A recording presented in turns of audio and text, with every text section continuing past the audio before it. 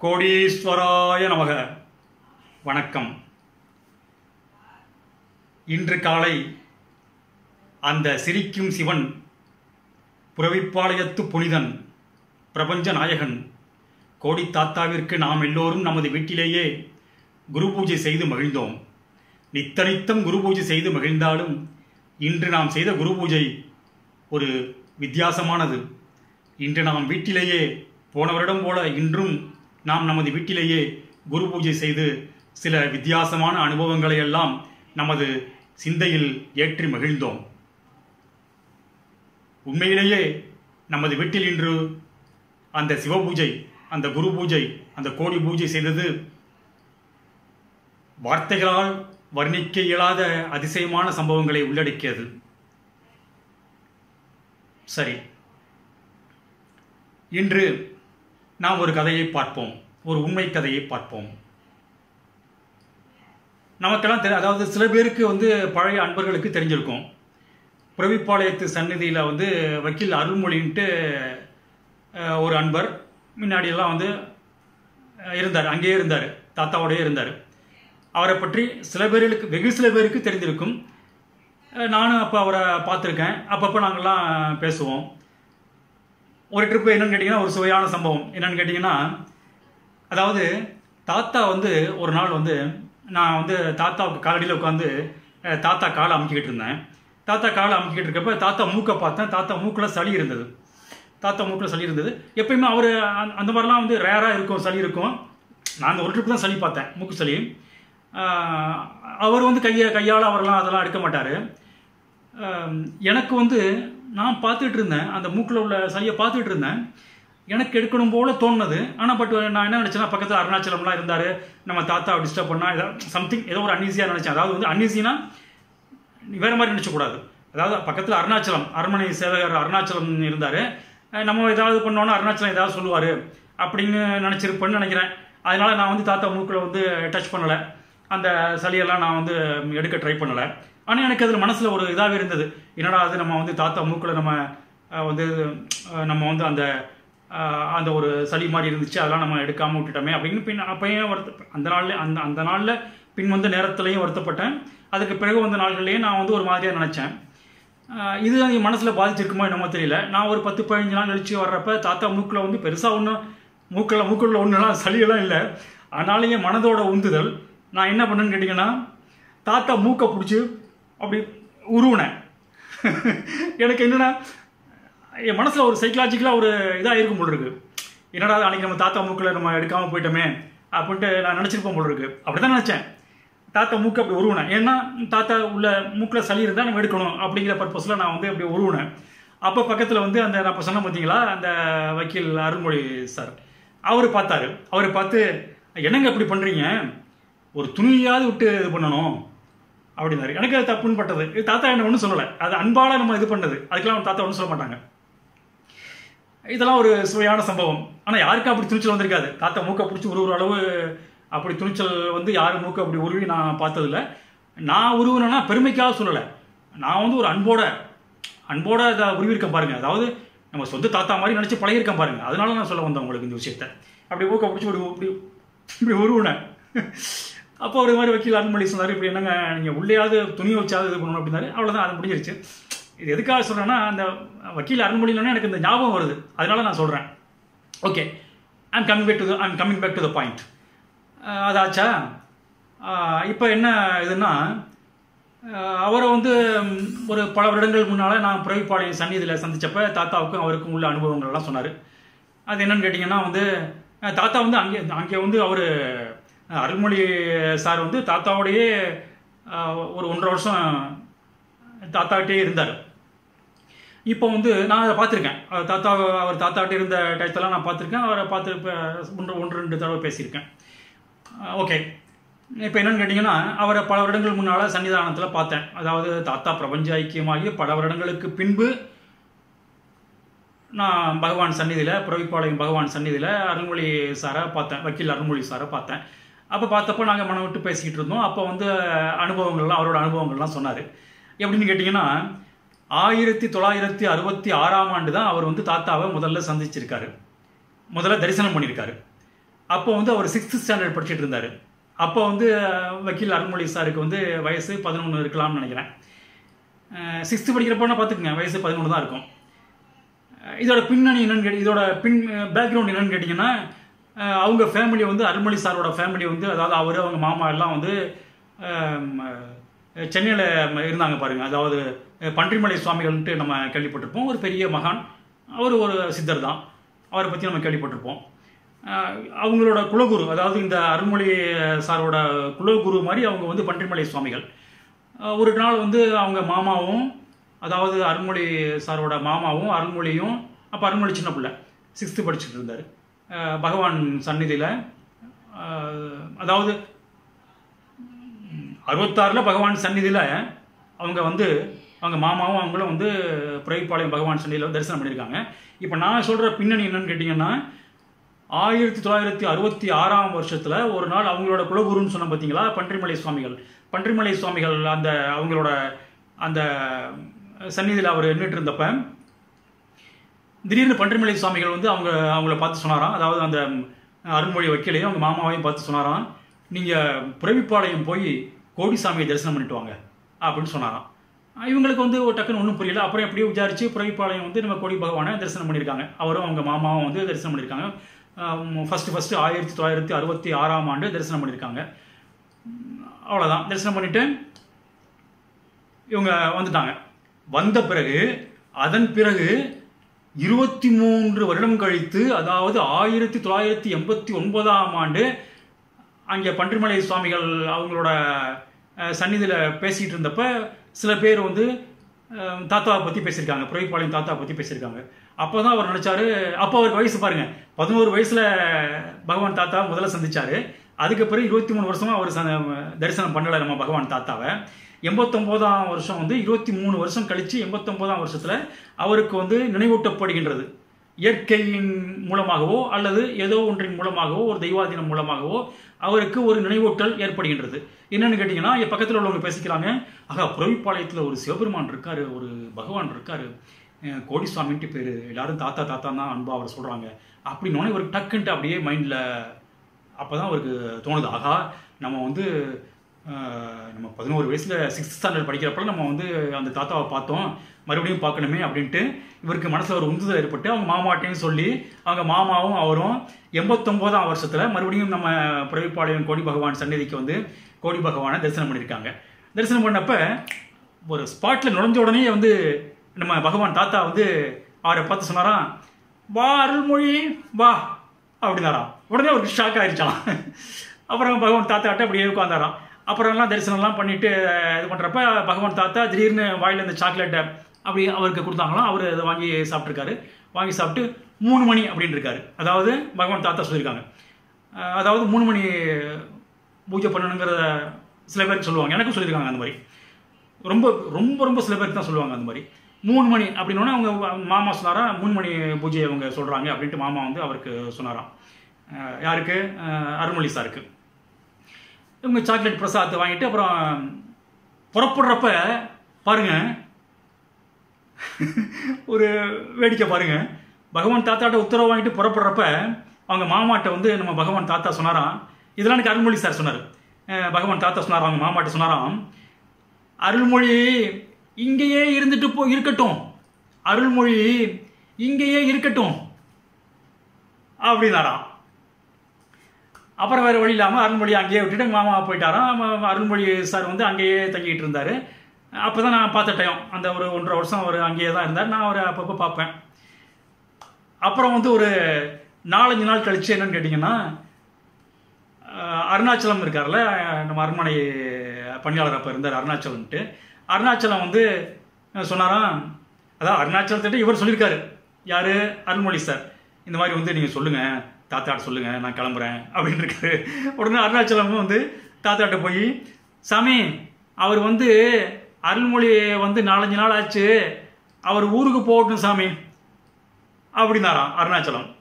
அதுக்கு தாத்தா சொன்னாங்களாம் அருணாச்சலத்திட்ட நீ வேணா பழனிக்கு போ அருள்மொழி இங்கேயே இருக்கட்டும். ஊரில் அரிசி இல்லை அப்படின்னாங்களாம். அது எதுக்காக சொன்னாங்கன்னு தெரியல. ஊரில் அரிசி இல்லை. அப்படின்னாங்களாம். அப்புறம் சரிட்டு தாத்தா சொல்ல மீற முடியாமல் அங்கேயே இருந்திருக்காரு. அப்புறம் வந்து என்ன பண்ணாரு? திடீர்னு தாத்தா ஒரு நாள் வந்து அருள்மொழிகிட்ட மாடியில் சன்னியில் இருந்தப்போ தாத்தா வந்து அஹ், அருள்மொழிகிட்ட சொன்னாங்களாம். தாத்தா மடியில் வந்து இந்த பக்தர்கள் வச்சிருந்த பூவெல்லாம் இருந்ததாம். அதை அப்படியே கை நிறைய அள்ளி அஹ், அருள்மொழிகிட்ட கொடுத்து நீ கீழே போய் கொடு அப்படின்னு பகவான் தாத்தா சொல்லியிருக்காங்க. உடனே அருள்மொழி அருள்மொழி சார் சர்ப்ரைஸ் ஆகிட்டார் என்ன சாமி யார்கிட்ட கொடுக்குறது பூவை? அப்படின்னு கேட்டிருக்காரு. அதுக்கு தாத்தா சொல்லியிருக்காங்க நீ போ. அப்படின்னு இருக்காங்க. என்னடா அது ரெண்டு சர்ப்ரைஸ் ஆகி கீழே போய் பார்த்தா அவங்க குடும்பத்தில் உள்ளவங்களாம் நின்றுருக்காங்க நின்றுருக்காங்க. அவங்க அம்மா அவங்க தம்பி மற்ற அவங்க குடும்பத்தில் உள்ளவங்களாம் கீழே நின்று மாடிக்கு வர்றதுக்காக பேசிக்கிட்டு இருந்திருக்காங்க. இவர் அங்கே போய் கீழே போய் சர்ப்ரைஸ் ஆகி தாத்தா அவங்கள பற்றி இப்போ தான் சொன்னாங்க. இந்தாங்க பூ வச்சுக்கோங்க. அப்படின்ட்டு பூவெல்லாம் கொடுத்தோன்னே அப்புறம் எல்லாரும் மாடிக்கு வந்து தரிசனம் பண்ணியிருக்காங்க. தரிசனம் பண்ணிவிட்டு போகிற புறப்பட்டு போகிறப்ப அவங்க அம்மாலாம் சொல்லியிருக்காங்க சாமி அருள்மொழி எங்களோட வந்துடட்டும் அப்படின்னு அதெல்லாம் வேண்டாம் அருள்மொழி இங்கே இருக்கட்டும். அப்படின்ட்டாரு. அப்புறம் என்னாச்சுன்னு கேட்டிங்கன்னா இதே மாதிரியே அப்படியே ஒன்றரை வருஷம் ஆயிடுச்சு ஒன்றரை வருஷம் கழிச்சு ஒரு நாள் வந்து அவங்க அம்மாவும் அவங்க தம்பியும் வந்து தாத்தாட்ட ரிக்வெஸ்ட் பண்ணி இன்னொன்று சொல்லணுமே நடுவில் நடுவு இன்னொன்று நடந்தது. இவங்க உங்கள் அம்மா அவங்க தம்பியெல்லாம் தாத்தாவை தரிசனம் பண்ணிட்டு போனாங்கல்ல போன உடனே அருள்மொழி ஏற்பாட்டின் பேரில் அவங்க என்ன பண்ணியிருக்காங்கன்னா அருள்மொழிக்கு வந்து அவங்க அத்தை மேலே ரொம்ப பிரியம். அதனால வந்து அவங்க அம்மா என்ன பண்ணியிருக்காங்கன்னா இந்த மாதிரி உங்கள் அத்தை இறந்துட்டாங்க நீ உடனே புறப்பட்டு வரவும் அப்படின்னு தந்தி கொடுத்துருக்காங்க. இவர் இந்த தந்தியை வச்சுட்டு இவர் பகவான் தாத்தாட்ட போய் சாமி இந்த பாருங்க சாமி தந்தி வந்திருக்கு எங்கள் அத்தை இறந்து போயிட்டாங்க சாமி நான் உடனே ஊருக்கு போகணும் சாமி அப்படின்னாராம். அதுக்கு தாத்தா ஒரு தெய்வீக சிரிப்பு சிரிச்சுக்கிட்டு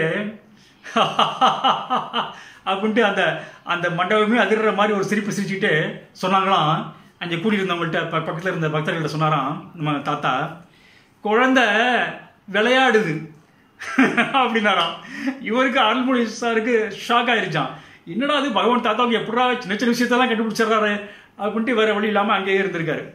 இப்படியே ஒன்றரை வருஷம் ஓடி போச்சு. அப்புறம் ஒரு நாள் வந்து அருள்மொழி சாரோட அம்மாவும் தம்பியும் வந்து தாத்தாவோட ரொம்ப ரிக்வெஸ்ட் பண்ணி அப்புறம் கூட்டிகிட்டு போயிட்டாங்க. அருள்மொழி சாரை கூட்டிகிட்டு போயிட்டாங்க. அப்புறம் வந்து அவர் கல்யாணம் ஆச்சு. கல்யாணம் ஆகிட்டு கூட அவர் ஒய்ஃபை வந்து அழைச்சிட்டு வந்தார். தாத்தாட்ட வந்து ஆசீர்வாதம் வாங்கினாரு. அப்போல்லாம் நான் பார்த்தேன். அவர் அவர் வந்து ஒரு ஒய்ஃப் அழைச்சிட்டு ஆசீர்வாதம் வாங்கினார். அப்போல்லாம் நான் நான் அங்கே தான் இருந்தேன். நான் பார்த்தேன். அதெல்லாம் நான் அந்த காட்சியெல்லாம் நான் பார்த்தேன். இப்போ இதுக்கு முன்னால் நடந்த சம்பவங்கள் நான் சொல்கிறேன் கேளுங்க. அதாவது இவர் ஒன்றரை வருஷம் இருந்தார்ல பகவான் தாத்தா சன்னிதியில் இருந்தார்ல அப்போ நடந்த சில சுவையான சம்பவங்களையும் சொன்னார் அவர் என்கிட்ட அருள்மொழி என்கிட்ட சொன்னார். என்னன்னு கேட்டிங்கன்னா ஒரு நாள் வந்து அங்கே இவர் எங்கே படுத்துட்டு இருந்தாருன்னா அங்கே அரண்மனைக்கு கீழே அதாவது மாடி மா- மேலே மாடியில் பகவான் சந்நிதி இருக்குது பகவான் அங்கே தான் இருக்கு இருப்பாங்க. கீழே வந்து இறங்கினோடனே ஆப்போசிட் சைடு இந்த பழைய அரண்மனை மண்டபம் ஒன்று இருக்கும். அன்னதான மண்டபம். அங்கே தான் வந்து முன்னாடி தான் வந்து அன்னதானம்லாம் அங்கே பண்ணுவாங்க. ஒரு மண்டபம் இருக்கும். அதுக்கு முன்னாடி ஒரு திண்ணை மாதிரி இருக்கும். ஒரு திண்ணை இருக்கும். ஒரு திண்ணை இருக்கும். அந்த திண்ணையில் தான் அவர் படுப்பார். அவரோட ஃப்ரெண்டு டைலர்னு ஒருத்தர் நாயுடுன்னு ஒருத்தர் டைலர் அவரும் அந்த திண்ணையோட ரெண்டாவது போர்ஷனில் அவரும் படுத்திருப்பார். இப்படி இருக்கப்ப ஒரு நாள் வந்து நான், விடிகாலை மூன்று மணிக்கு தாத்தா வந்து அங்கே மொட்டை மாடியிலேருந்து சத்தம் போடுறாங்களாம். அவங்களை கூப்பிட்றாங்களாம். கூப்பிட்டோன்னே இவங்க என்னமோ எதுன்ட்டு அப்படியே இவங்க மாடிப்படி ஏறி போகிறாங்களாம் போன உடனே நாயுடு வந்து பகவான் தாத்தா மாடியில் மொட்டை மாடியில் நின்றுருக்காரு பகவான் தாத்தா. உடனே நாயுடு வந்து அப்படியே தாத்தா தாத்தா வந்து நமஸ்காரம் பண்ணாராம் பண்ணிட்டு இவரையும் பார்த்து அருண்மொழியையும் பார்த்து அருண்மொழியை நீங்களும் நமஸ்காரம் பண்ணுங்க அப்படின்னு சொன்னாராம். அருண்மொழியும் நமஸ்காரம் பண்ணிட்டு தாத்தா பார்த்தாராம். தாத்தா கண்லேருந்து அப்படியே ஏதோ சம்திங் ஒரு பிரகாசமான ஏதோ ஒரு ஒளியோ நம்ம பாஞ்சு ஒரு இவர்கிட்ட ஊடுருவனதை இவர் உணர்ந்தேன்னு சொல்கிறாரு அந்த மாதிரிலாம் நடந்திருக்கு. அப்புறம் இன்னொரு நாள் வந்து மூணு மணிக்கு அதே மாதிரி என்னன்னு கேட்டிங்கன்னா மேலேருந்து மாடியிலேருந்து அப்படி சத்தம் போட்டாராம். அவங்க என்னட்டு போனாங்களாம். போன உடனே பகவான் தாத்தா சொன்னாங்களாம் மெட்ராஸில் ஒரே புகை. ரொம்ப கூட்டம். ரத்தம் ஒரே ரத்தம். டெல்லியில் கூட்டம். பஸ்ஸு ஓடலை. ட்ரெயின்லாம் நின்றுச்சு. உலகத்தில் எல்லாரும் வர்றாங்க டெல்லிக்கு. அப்படின்னாராம் நம்ம பகவான் தாத்தா. இவங்களுக்கு ஒன்றுமே புரியலையா? சரி என்னமோ ஏதாட்டு கீழே இறங்கி இவங்க தூங்க தூங்க போயிட்டாங்களாம் தூங்கிட்டாங்களாம். மறுநாள் காலம்பரை பேப்பரை பார்த்தா ராஜீவ்காந்தி ராஜீவ் காந்தி படுகொலை அப்படின்ட்டு நியூஸ் வருதான். அப்போ தான் புரிஞ்சுட்டாங்களாம் நியூஸ் வந்தோன்னா அப்புறம் என்னாச்சுன்னு கேட்டிங்கன்னா அப்புறம் அதான் ஒரே கலவரம் ஆச்சு அப்புறம் அங்கே இங்கேயுமா பெரிய ஏதாச்சும் ரொம்ப பெரிய அளவில் கலவரம் ஆச்சு அதாவது சொல்ல முடியாத வர்ணிக்க முடியாத அளவு கலவரம்லாம் ஆச்சு தாத்தா சொன்ன மாதிரி அங்கங்கே அதாவது ஒரே ரத்தம்னு சொன்னாங்கல்ல அந்த மாதிரி பெரிய கலவரம்லாம் உருவானது. ஒரே கூட்டம். பஸ் இல்லை ட்ரெயின் இல்லை. டெல்லியில் வந்து பெரிய பெரிய தலைவர்கள்லாம் கூட ஆரம்பிச்சிட்டாங்க. அப்போ தான் அவங்க ரியலைஸ் பண்ணியிருக்காங்க ஆகா நம்ம பகவான் தாத்தா அப்படி சொல்லியிருக்காங்களே அப்படின்ட்டு ரியலைஸ் பண்ணியிருக்காங்க அதனால் தாத்தா இந்த மாதிரிலாம் பண்ணுவார். இந்த மாதிரி அந்த மாதிரி இந்த மாதிரி சில எல்லாருக்கும் அதாவது வெளிப்படையான சில இதுவும் பண்ணுவார். அதாவது சம்மந்தப்பட்டவர்களை கூப்பிட்டு சில விஷயங்கள் சொல்கிறது உண்டு. சில தடவைகள் கூப்பிடாமலேயே ரகசியமாக அற்புதங்கள் செய்வதும் உண்டு. அதாவது பக்தனுக்கும் அந்த சம்பந்தப்பட்ட பக்தனுக்கும் பகவான் தாத்தாவிற்கு மட்டும்தான் தெரியும். அந்த மாதிரி சில விஷயங்கள் பண்ணுறதெல்லாம் உண்டு. அந்த மாதிரி அதனால் பகவான் தாத்தாவை வந்து அவருடைய அருமைகளையும் பெருமைகளையும் அதிசயங்களையும் அற்புதங்களையும் ஆற்றல்களையும் அந்த சிவனின் இயல்புகளையும் சிவனின் பெருமைகளையும் வார்த்தைகளாலோ அல்லது என்னுடைய ஒரு உணர்ச்சியாலோ உங்களுக்கு வர்ணிக்க இயலாது. நீங்கள் பகவான் தாத்தாவை ஓரளவாவது நினைத்து தியானம் செய்தீர்களே ஆனால் உங்களுக்கும் அந்த அற்புதங்கள் நிகழும் உங்களுக்கும் அந்த காட்சிகள் நிகழும். அந்த சிவபெருமான் அவர் அன்றும் இருந்தார் இன்றும் இருக்கின்றார் என்றும் இருப்பார். யுகங்கள் அழிந்தாலும் அவருடைய தோற்றமோ அவருடைய உருவமோ அவருடைய அருவமோ அவருடைய பிரதிஷ்டையோ நிச்சயமாக அழியாது. அது அமரத்துவம் வாய்ந்தது அது என்றுமே இருக்கும். இந்த மாதிரி சில அதிசயங்கள்லாம் நடந்ததெல்லாம் வந்து அருள்மொழி சொன்னார். அப்புறம் இன்னொரு இது என்னென்னு இன்னொரு விஷயம் என்ன சொன்னார்? என்னன்னு கேட்டிங்கன்னா ரொம்ப ரொம்ப சுவாரஸ்யமானது அற்புதமானது இதுவும் ஒரு அதிசயமானது. அதை வந்து அருள்மொழி சார் சொன்னார். என்னன்னு கேட்டிங்கன்னா ஒரு நாள் பகவான் தாத்தா மாடியில் திடீர்னு அருள்மொழியை பார்த்து வா அப்படின்னாராம். கிட்டக்கு போன உடனே பகவான் தாத்தா வந்து அவர் பாக்கெட்டில் அதாவது அவர் அங்கி நீளமான அங்கி போட்டிருப்பாரு. அந்த அங்கியில் வந்து லெஃப்ட் சைடு கீழே அந்த அங்கியில் கீழே வந்து லெஃப்ட் சைடு ஒரு பாக்கெட் இருக்கும். அந்த பாக்கெட்டில் கையை விட்டு சில்லறையாக பொறுக்கி கையில் வந்த சில்லறையை அப்படியே எடுத்து அது நிறையா அந்த அங்கியில் அந்த பாக்கெட்டில் சில்லறை வச்சிருந்தது. சில்லறை இருந்திருக்கு. யார் யாரோ போட்டுருந்துருப்பாங்க சில்லறையெல்லாம் இருந்திருக்கு. அதை அப்படியே ரெண்டு கையாலையும் அப்படியே எடுத்து அருள்மொழி கையில் அப்படியே கொடுத்து நீ போய் பிரியாணியும் ஆம்லெட்டும் வாங்கிட்டு வா அப்படின்னாராம். அவங்களாம் ஏன் சொல்கிறாங்க ஏன் இந்த அசைவம்லாம் அப்பப்போ வந்து சாப்பிட்றாங்க. பக்தர்கள் கொடுத்தப்போ கூட சில அசைவ சாப்பாட்டெல்லாம் அப்படியே ஒன்று ரெண்டு உருண்டை அப்படியே சாப்பிடுவார். இதுக்கெல்லாம் வந்து நம்ம வந்து அர்த்தம் கண்டுபிடிக்க முடியாது. பொதுவாக வந்து கொல்லாமைங்கிற சப்ஜெக்டை தான் வந்து திருவள்ளுவர் வலியுறுத்துறாரு வடலூர் வள்ளலாறு வலியுறுத்துறாரு. பகவான் தாத்தாவும் வள்ளலார் எல்லாம் ஒன்று தான் ஆனால் இருந்தாலும் ஏன் இப்படிலாம் பண்ணுறாங்கன்னா அதுக்கு வந்து நம்மளால் சரியான காரணங்கள் கண்டுபிடிக்க முடியாது. ஒருவேளை உலகத்தில் உள்ள பாவங்களை வந்து ஒழிக்கணும் அப்படிங்கிறதுனால நம்ம இது மாதிரிலாம் பண்ணிகிட்டு இருக்க இது மாதிரிலாம் பண்ணுறப்ப நமக்கு இந்த பாவங்கள் தாக்காது. ஆனால் மக்களோட பாவங்கள் குறையும்.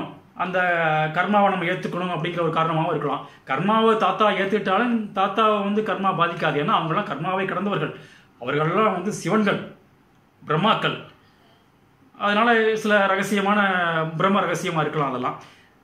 ஓகே இப்போ என்னன்னு கேட்டிங்கன்னா சில்லறையெல்லாம் கொடுத்து அருள்மொழிகிட்ட கொடுத்து நீங்கள் போய் பிரியாணியும் ஆம்லெட்டும் வாங்கிட்டு வா. அப்படின்னாராம். உடனே இவங்க என்ன பண்ணியிருக்காங்க பொள்ளாச்சிக்கு போய் ஒரு கடையில் ஒரு ஹோட்டலில் அந்த சர்வர்கிட்ட அப்படியே காசெல்லாம் என்னலையாம் அருள்மொழி வந்து கையில் இருந்த காசெல்லாம் பாக்கெட்டில் இருந்த காசெல்லாம் என்னலையாம் அப்படியே எடுத்து அந்த சர்வர்கிட்ட அந்த சர்வர் பேர் ரவினார் அந்த சர்வர் வந்து என் பேர் ரவின்னு சொன்னானாம். அந்த ரவிங்கிற சர்வர்கிட்ட கொடுத்து நீ பிரியாணி ஆம்லெட்டு கொடு அப்படின்ட்டு வாங்கிட்டு வந்துட்டாராம். வாங்கிட்டு வந்துட்டு பாருங்கள் பல வருஷங்கள் கழித்து இவர் பொள்ளாச்சியில் போய் அன்எக்ஸ்பெக்டடாக வந்து ஒரு ஹோட்டலில் உட்காந்து சாப்பிட்றாராம். சாப்பிட்டப்போ ஒரு ஒருத்தர் வந்து ஒருத்தர் கேட்குறாராம் சார் எப்படி இருக்கீங்க சார்? பார்த்து ரொம்ப வருஷம் ஆச்சு. அப்படின்னாராம் இவருக்கு என்னடா அதுன்னு ஷாக் ஆகிடுச்சான் உடனே இந்த பையன் அவர் வந்து ஞாபகப்படுத்துறாராம் சார் அன்னைக்கு நான் சர்வ் பண்ணேன் அந்த ரவின்ட்டு. இன்னொன்று சொல்ல மறந்துட்டேன். இவர் இந்த ரவிங்கிற சர்வர்கிட்ட வந்து தாத்தா கொடுத்த காசுலாம் எண்ணாமல் கொடுத்தாரு இல்லையா? எண்ணாமல் கொடுத்த அந்த அந்த பையன் வந்து ரவின்னு பேர் சொன்னான் அந்த பையன் அருள்மொழி சார்கிட்ட வந்து என் பேர் ரவின்னு சொல்லியிருக்கான். அந்த சர்வர் வந்து காசுலாம் வாங்கிட்டு எண்ணிட்டு சார் அஞ்சு காசு கூட இருக்கு. அதிகமாக இருக்கு அப்படின்னானா. உடனே இவர் சொன்னாராம் அருள்மொழி சொன்னாராம் சரி அந்த கூட உள்ள அஞ்சு காசு நீனே வச்சுக்க. இது வந்து பிறவிப்பாளையம் பகவான் கோடிசாமி கொடுத்தது. இந்த அஞ்சு காசு நீனே வச்சுக்க அப்படின்ட்டாராம். இது முன்னால் நடந்தது. இப்போ நான் வர்றேன் பாயிண்ட்டுக்கு வர்றேன். இப்போ வந்து பல வருடங்கள் கழித்து பொள்ளாச்சியில் வந்து ஒரு ஹோட்டலில் சாப்பிட்ருக்கப்ப அந்த ஒருத்தர் வந்து சார் நல்லா இருக்கீங்களா? அப்படின்னு கேட்டாருன்னு சொன்னால இவர் ஆச்சரியமாக பார்க்குறப்ப அவன் சொன்னாலும் சார் என்ன மறந்துச்சிங்களா நான் தான் சார் சர்வர் ரவி. அன்னைக்கு வந்து உங்களுக்கு வந்து நீங்கள் பல வருடங்களுக்கு முன்னால் நீங்கள் வந்து பிரியாணி ஆம்லெட்டும் கொடுத்தீங்க. அஞ்சு காசு எக்ஸஸாக இருந்தது. என்ன வச்சுக்க சொன்னீங்களே சார்? அது நான் தான். அந்த அஞ்சு காசு தான் சார் இப்போ வந்து பாருங்கள் சார். அஞ்சாறு லட்சம் ஆச்சு. நான் இப்போ இது பாருங்கள் சார் இந்த ஹோட்டல் ஓனர் சார் நான் அப்படின்னப்ப தான் அவர் அப்படியே ஷாக் ஆயிடுச்சா. உடனே ஓஹோ அந்த ரவியாணி அப்படின்னு ஒரு ஆச்சரியமாக கேட்டாராம். அப்போ தான் ஒரு அண்ணாந்து பார்க்குறாராம் அந்த கல்லாப்பட்டிக்கு மேலே அங்கே அண்ணாந்து பார்க்குறாராம் பகவான் தாத்தா ஃபோட்டோவை மாட்டி ஊதுபத்திலாம் ஏற்றி அழகாக பகவான் தாத்தா ஃபோட்டோவை அப்படியே அலங்கரிச்சிருக்காங்களாம். அந்த பையன் அவர் சொன்னாராம் சார் அந்த அஞ்சு காசு ரவி தான் சார். நான் இன்றைக்கி அஞ்சு லட்ச ரூபா ரவி ஆகிட்டேன் அந்த அஞ்சு காசு ரவி தான் சார். எப்படி? அந்த அஞ்சு காசு ரவி தான் சார். பகவான் கோடிசாமி புண்ணியத்தில் இன்னைக்கு அஞ்சு லட்சம் ரூபா ரவி ஆகிட்டேன் சார். இந்த ஹோட்டல் என்னோட தான் அப்படின்னா இந்த அனுபவத்தெல்லாம் அவர் சொன்னார். அந்த முக்கண் இல்லாத சிவனின் அருமைகளும் பெருமைகளும் நான்கு தலையில்லாத அந்த கோடி பிரம்மாவின் அருமைகளும் பெருமைகளும் நான்கு கைகள் இல்லாத அந்த மகாவிஷ்ணுவான கோடி பகவானின் அருமைகளும் பெருமைகளும் தொடரும். ஆத்ம நன்றி.